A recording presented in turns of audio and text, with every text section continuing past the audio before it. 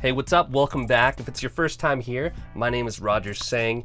I do photo, video, tech, gear reviews, and hopefully some tutorials coming up soon. And today we're going to be reviewing the Godox SL150 Mark II light. It just came out and I'm really excited about it. It's beefy and bulky and just check that out. I love the Godox lights. I use them as my main studio lights. Um, you can't see them, but they're here. They're compact, affordable, and reliable, and they've worked well for me so far. Let's discover more about the SL150 Mark II right after this.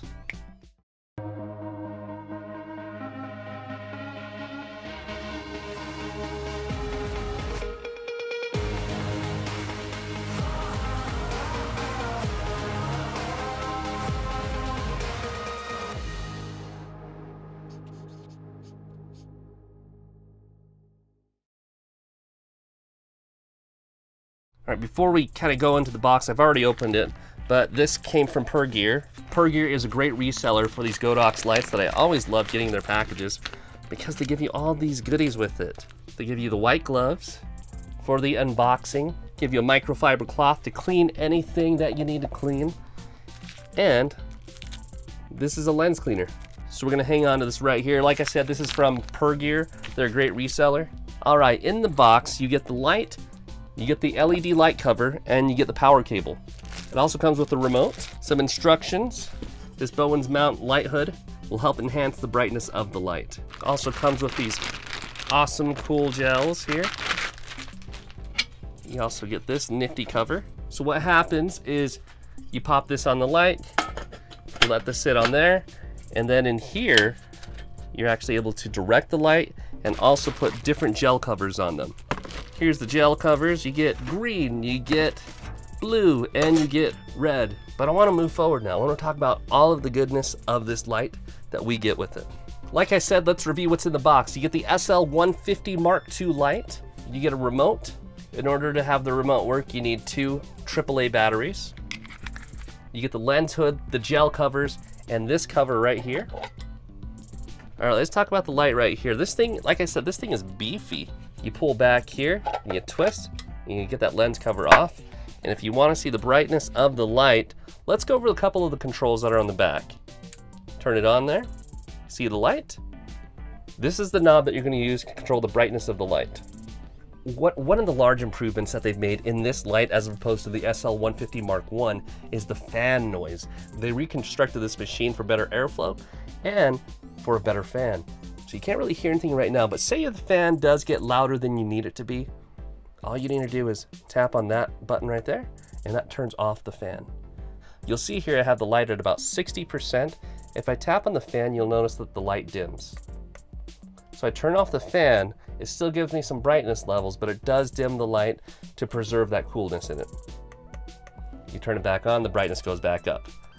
So you have the dimmer, you have the fan control, you have the power switch, this light can carry 16 channels in six groups, A, B, C, D, E, and F. And for the light temperature, it is 5600 Kelvin. And let's talk about the effects. The effects are pretty cool if you need them in certain scenarios. So let's turn the brightness. All right, there are eight lighting effects that are built into this thing. We tap on effects, let's check them out. I'm gonna let you guys guess which one's which. So that's FX1, FX2, FX3, FX4. Ooh, that looks like a bad bulb. Yep, FX4, FX5. Anything there? Is that like lightning, I think? FX6.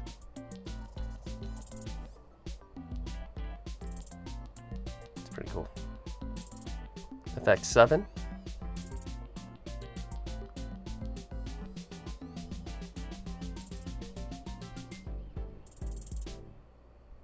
Think that's a TV.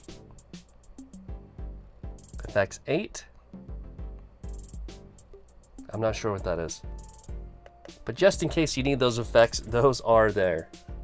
You'll also see here that there's a large sized LCD panel uh, with temperature control to prevent overheating. I really like this light. As you can see here, it's very, very portable. So all I have is the stand right here and the lights right here. But honestly, being 5600 Kelvin, that's the perfect light that I need for my needs. And the ability to turn the fan on and off, that's huge for me because sometimes you need to shoot in a very quiet environment and you don't want that humming noise. Then to have that ability to turn off the fan, I really, really like. Like I said, they have improved the airflow of this so that the light doesn't overheat too much and that you get a lot of airflow going on through the light. If you want my recommendation, I would highly recommend the Godox SL150 Mark II light. I really like this light. I like the shape of it. It does feel like it's a really high quality light, and I really like that. And this thing's beefy. One thing I really like about it is you can tell that there's some strength to these knobs here.